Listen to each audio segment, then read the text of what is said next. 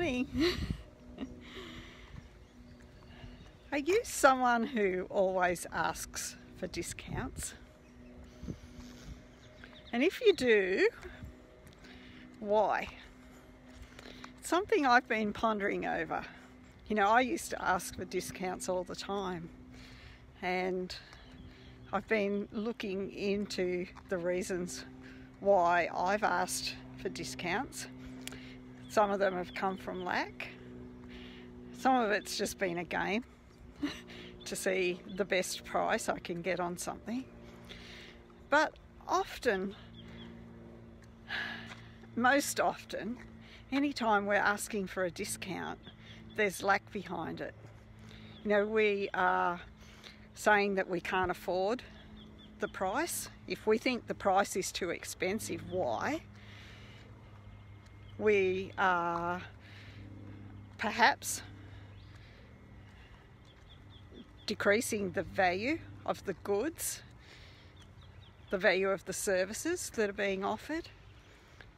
We could be downgrading the worth of somebody else, but in so, in doing so, it's still still affecting us. You know, if we don't see the worth in somebody else, then you know we've got issues in our own worth that we need to look at. Also, you know, are we asking for discounts because we believe we're a valued customer and that the shopkeeper perhaps or the person providing the service needs our business? Are we supporting their lack?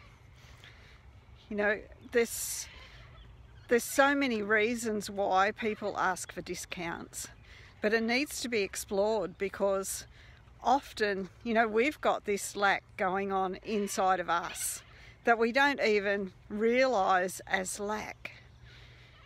But if we're showing lack in one area, it's pointing to lack in lots of areas. And it generally all comes back to lack of self-worth and self-value.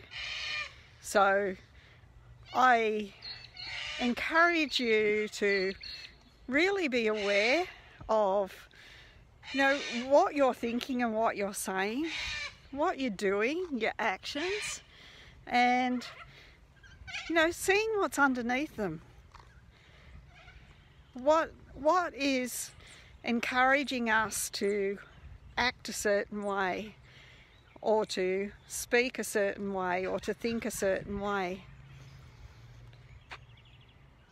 Because anything that's associated with fear or lack is pointing to self-worth.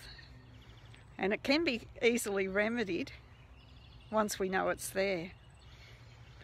So have a beautiful day and be super aware of your your thoughts and your actions and you know if there's any topics that you would like me to give my uh, perspective on, then please comment.